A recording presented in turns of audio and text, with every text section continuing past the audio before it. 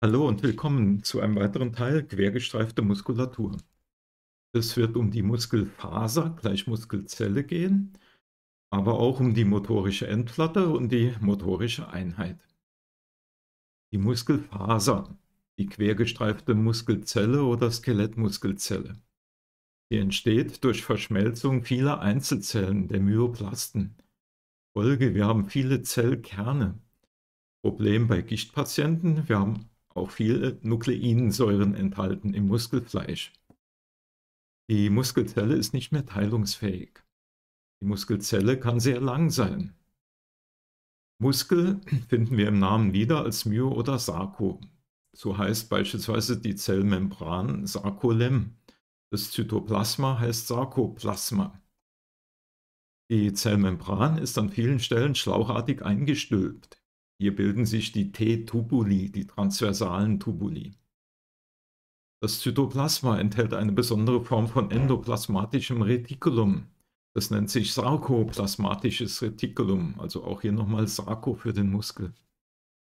Das sarkoplasmatische Retikulum ist ein Calciumspeicher. Dieser ist bei der quergestreiften Muskulatur stark entwickelt und bildet das sogenannte longitudinale System, also die longitudinalen Tubuli. Jede Muskelfaser, also die einzelne Zelle, ist von Bindegewebe umgeben, das Endomysium. Die Muskelfasern werden dann zu Bündeln zusammengefasst, darum ist wieder Bindegewebe, das Perimysium. Viele dieser Bündel bilden dann letztlich den Muskel, auch darum wieder dann Bindegewebe, das Epimysium und letztlich eine derbe Muskelfaszie. Durch die Bindegewebshüllen dringen die Blutgefäße und die Nerven zu den Muskelfasern durch. An den Enden der Skelettmuskeln gehen die Bindegewebshüllen in die Muskelsehnen über. Das heißt, hier erfolgt dann die Befestigung an den Knochen. Hier sehen wir eine Abbildung dazu. Wir sehen hier unsere Knochenstrukturen links und rechts. Dann kommt die Sehne. Und die Sehne befestigt letztlich den Muskel an den Knochenstrukturen. Der Muskel im Querschnitt. Wir sehen die Muskelfaser, die einzelne Zelle mit Bindegewebe drumherum. Dann kommen die Bündel mit Bindegewebe drumherum und letztlich dann der Muskel selbst mit Bindegewebe drumherum. Also das Epimysium geht über in die Muskelfaszie.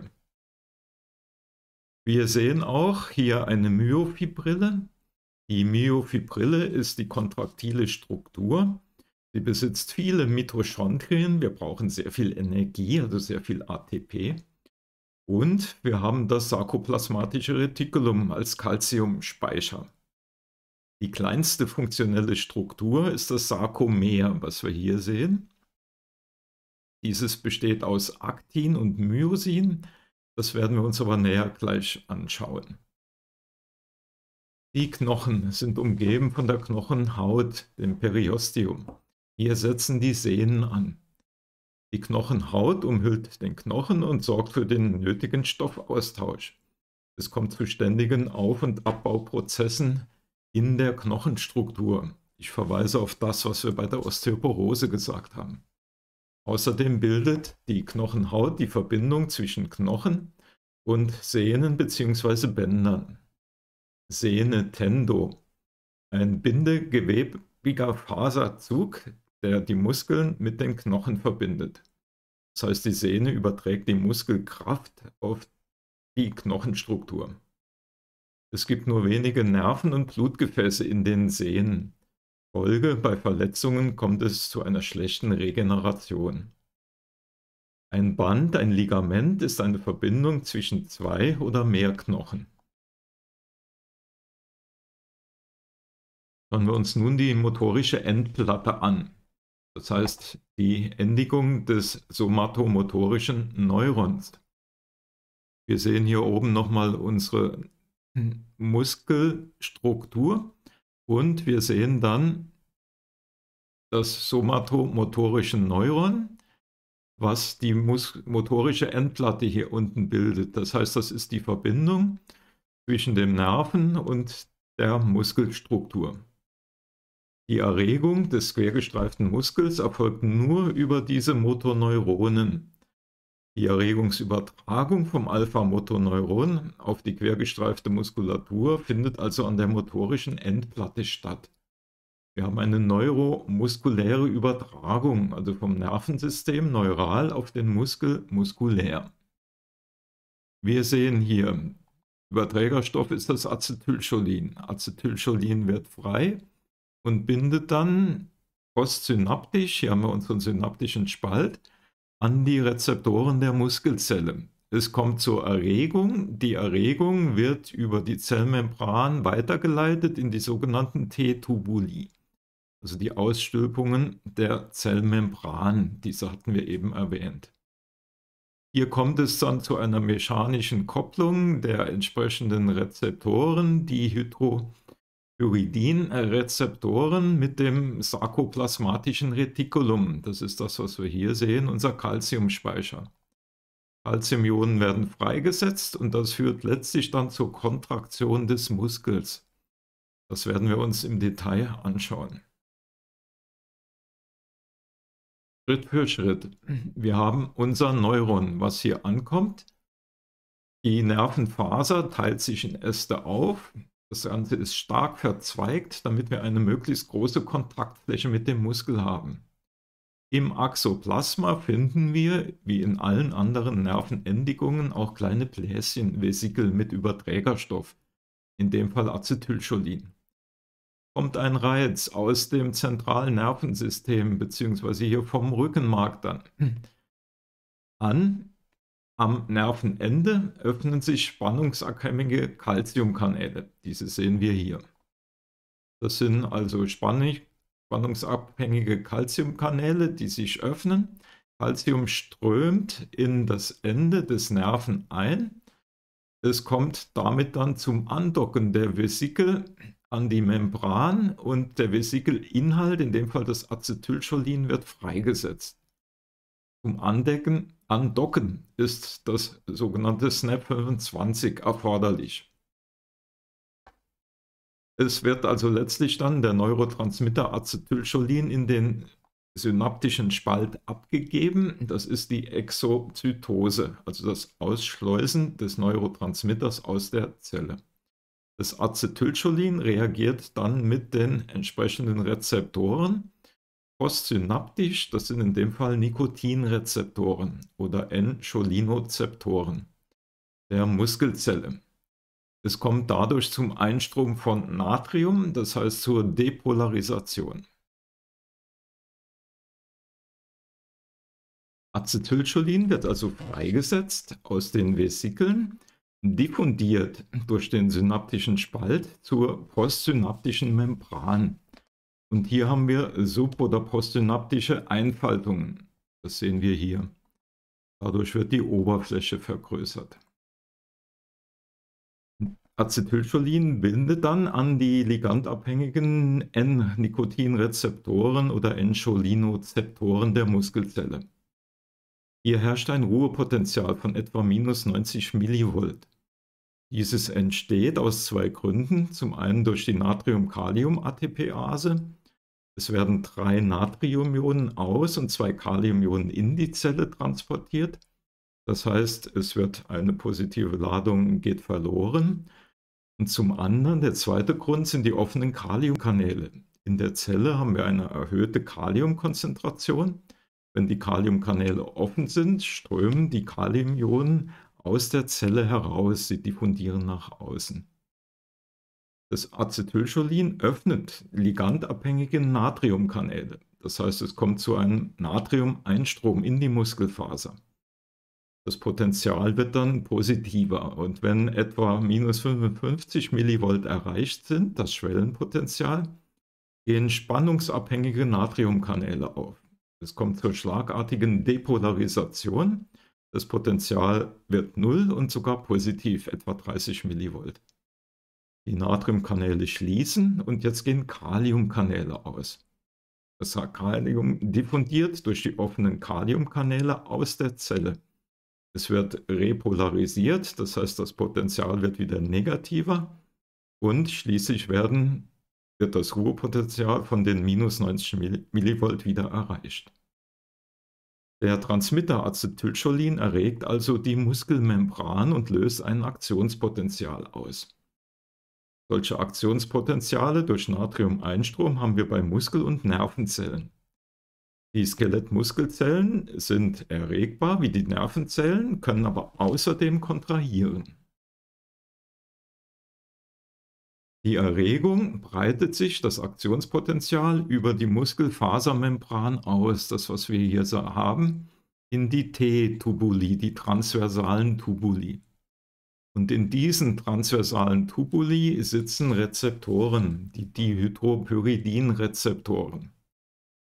Diese ändern, wenn das Signal ankommt, die Konformation und beeinflussen damit das sarkoplasmatische Retikulum, unseren Calciumspeicher, das was wir hier sehen. Also nochmal, die T-Tubuli, die tiefen Einstülpungen der Plasmamembran ermöglichen, dass der Natriumeinstrom, der Reiz, die Depolarisation, schnell in das Zellinnere übertragen wird. Die Erregung wird über das T-System letztlich auf das longitudinale System, also das sarkoplasmatische Retikulum, übertragen, den Calciumspeicher. Calciumionen werden freigesetzt. In den transversalen Tubuli werden die spannungssensiblen Dihydroperidin-Rezeptoren erregt.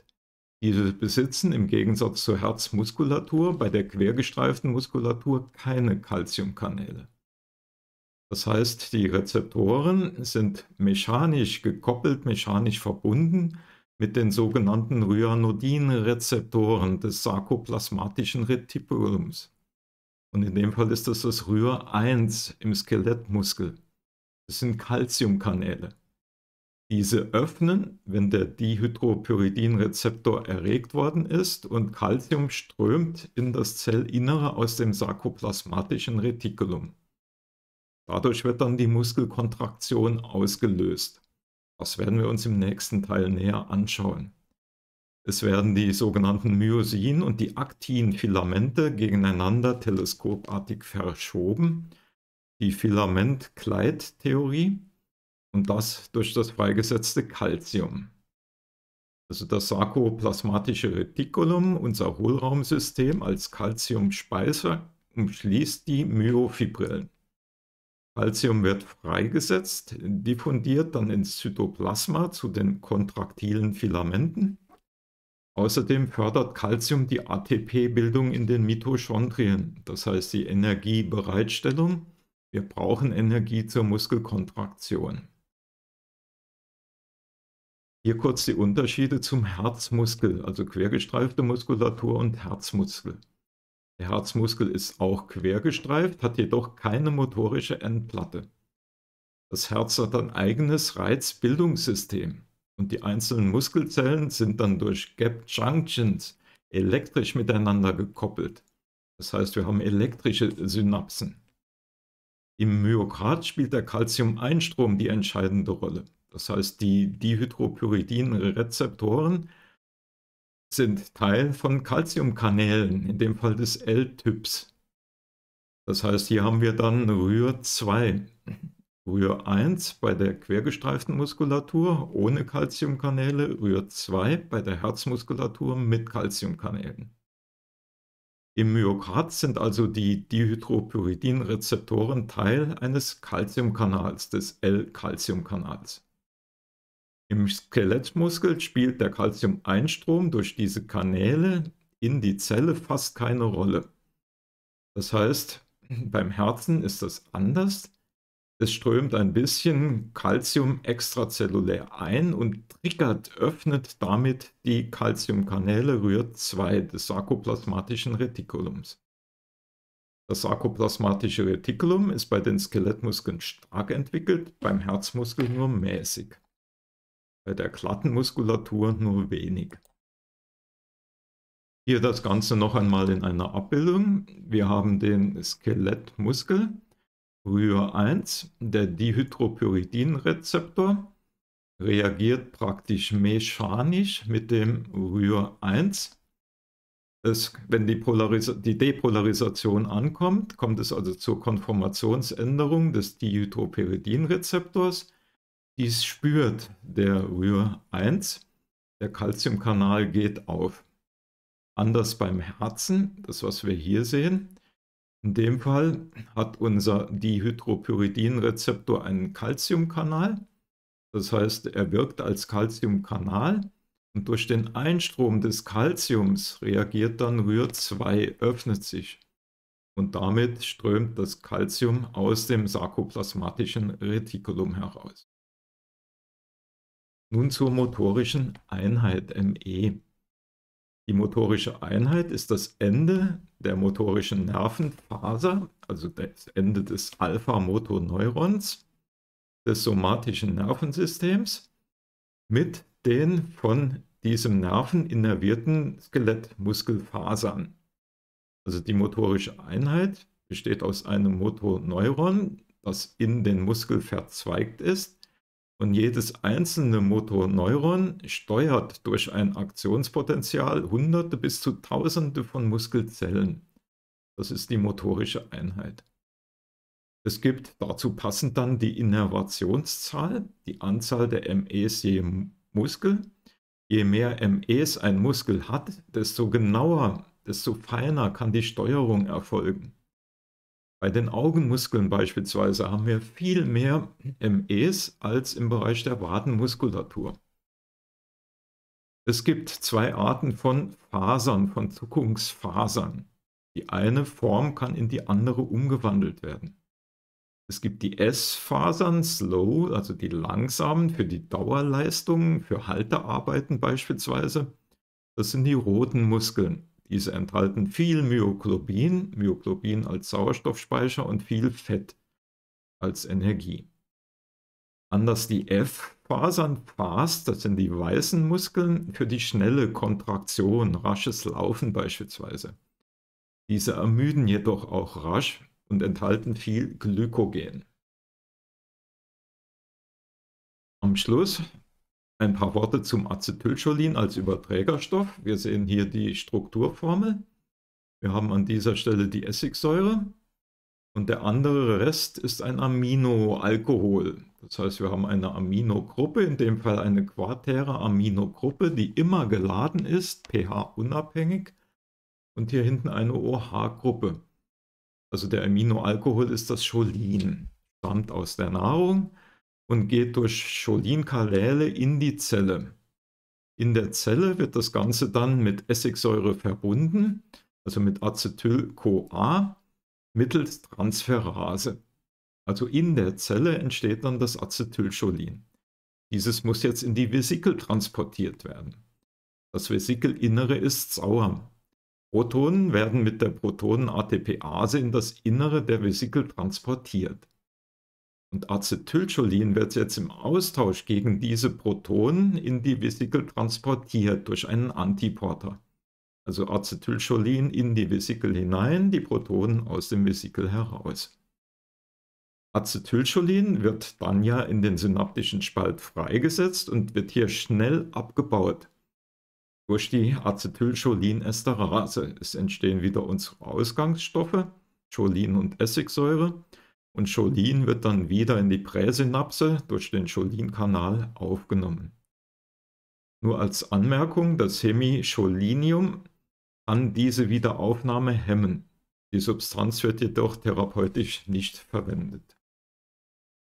Das war der zweite Teil, quergestreifte Muskulatur. Ich bedanke mich für die Aufmerksamkeit.